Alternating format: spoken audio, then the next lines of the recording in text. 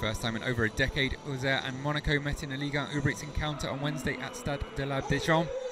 The club from Burgundy were unbeaten in their previous three home fixtures in the top flight, but slipped into the relegation zone after Brest's win just before the World Cup break. Those strong form on home soil was mirrored by the visitors' record on their travels, Les having won five of their seven domestic away matches this season as they clung to the fringes of the European spots. Both had suffered defeat in their final outing before the break, though, the opening exchanges of the contest were cagey. That was until the hosts were given a golden opportunity to take the lead when Eliot Matazo collided with Lassine Sinayoko inside the box.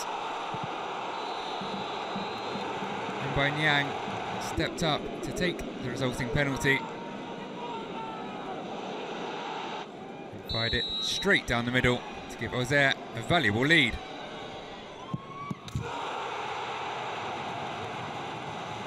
Senegalese scored four in 45 minutes in a friendly with Metz during the break.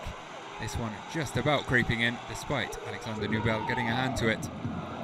But Monaco searched for a swift response before half-time and were duly awarded a penalty of their own. Gideon Mensah sticking out a leg to clumsily trip Takumi Minamino. The referee pointing to the spot for the second time. Through legs and then lashing out. Sam Ben assuming the responsibility and confidently sending Benoit Costil the wrong way for his seventh league goal of the season.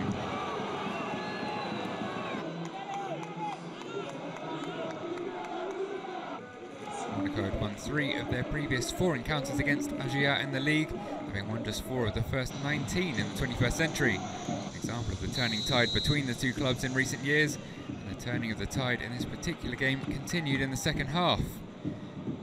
Even with the goal scorer benched, there was more intent on display at both ends, and it was Monaco who made the most of it, taking deserved lead shortly before the hour mark. Alexander Golovin luring in the Auxerre defence before sliding in 17-year-old Eliesse Benseghir, who slotted coolly under Costil to make it a dream debut for Les Monégasques. Great work from the Russian and the teenager with composure far beyond his years.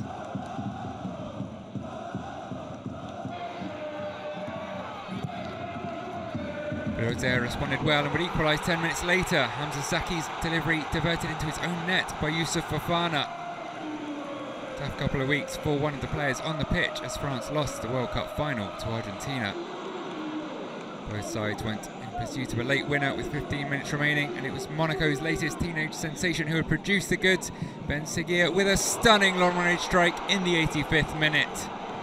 The second youngest player to score a top flight brace for Monaco behind a certain Thierry Henry, and the youngest for any French side to score a brace on their debut in the last 75 years. Certainly shades of Kylian Mbappe about the finish, and it was enough to secure the three points for Monaco, leaving them within touching distance of the Champions League places, whilst Auxerre remain inside the relegation zone, dropping another spot to 18th.